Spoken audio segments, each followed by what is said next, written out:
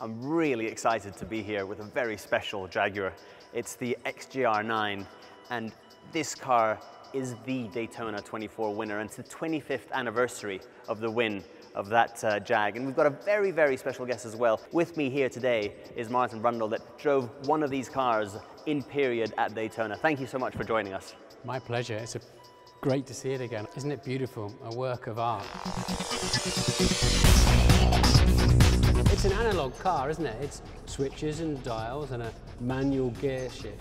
I have to say, sitting in here, you feel actually, it's actually quite comfortable and you feel quite quite at home. You're sort of snug inside and, and I'm quite happy to be, uh, to be sitting inside. It's, it almost looks more daunting from the outside. Now imagine doing 200 miles an hour at night through the traffic and bumps of Daytona flat out with that big V12 behind you and oh yeah, yeah, of course. This car was my nemesis actually. I raced against it at Daytona in 1990 and we were nip and tuck towards the end and they, they beat us when we had an, a water pressure issue and it was a great fight. On top of Jaguar winning Daytona uh, 24 in 1990, it was actually a 1-2 finish.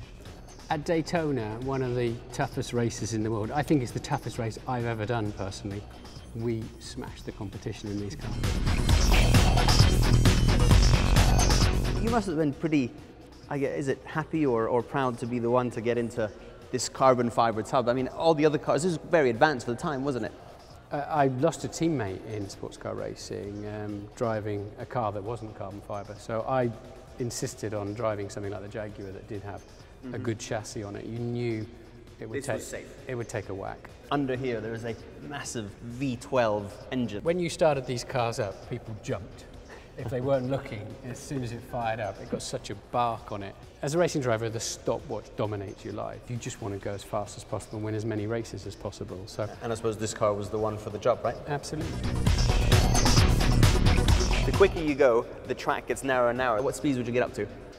In Mulsanne, uh, in Le Mans, before the chicanes, you were knocking on the door of 400 kilometres per hour, 240 miles an so hour. So 400 kilometres an hour, day and night?